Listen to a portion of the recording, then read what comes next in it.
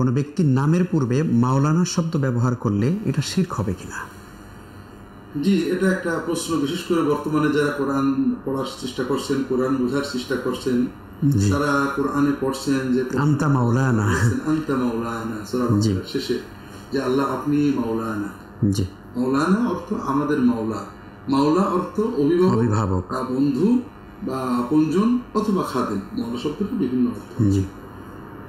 যেহেতু আল্লাহ সুবহান আলাকে আমরা মৌলানা বলে সম্বোধন করছি আমাদের মৌলা বলছি আর আমরা এটাও জানি আল্লাহ তাআলাকে যে কথা বলা হয় অন্যকে সেটা বললে শিরক। বলা শির্ক হয়।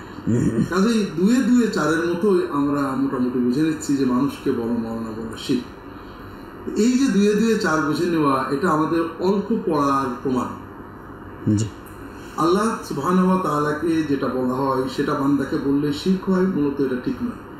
কিছু বিশেষণ সম্বোধন আল্লাহ সুবহান তাআলাকে বলতে হয় যেমন অন্যকে বললে শির্ক হয় যেমন মাহবুদ ইলাহ রহমান। রব।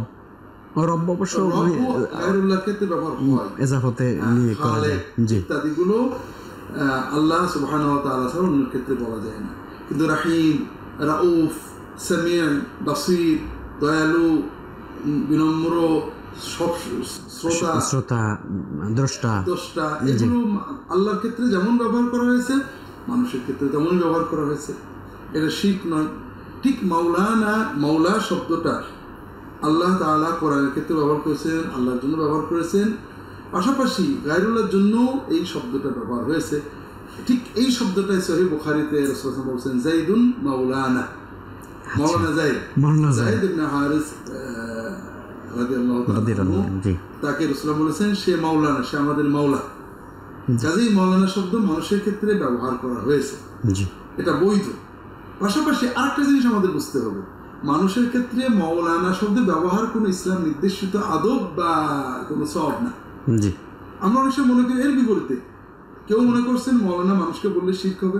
আবার কেউ বলছেন মৌলানা না বললে বোধহয় বেয়াদকি হবে। বেদবি হবে জি।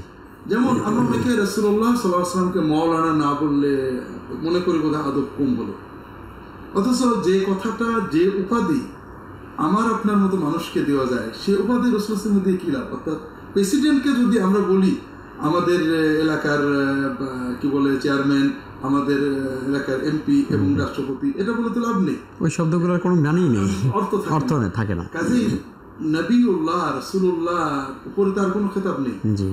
এটা তাকে ছাড়া আর কারোর ক্ষেত্রে ব্যবহার করা যায় না।